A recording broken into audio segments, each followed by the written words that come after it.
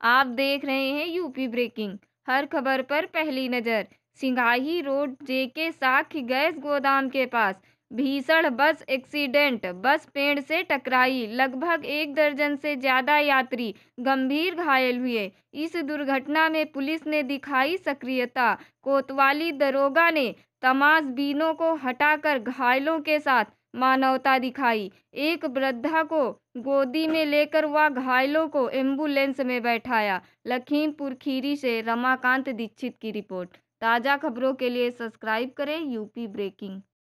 इस रास्ते में अनियंत्रित होकर पलटी है इसमें के, के, कैसे हादसा हुआ है? कितने लोग मतलब घायल हुए हैं कितने रेफर हुए हैं बताएँ। तेरह लोग घायल हुए हैं छः लोग हुए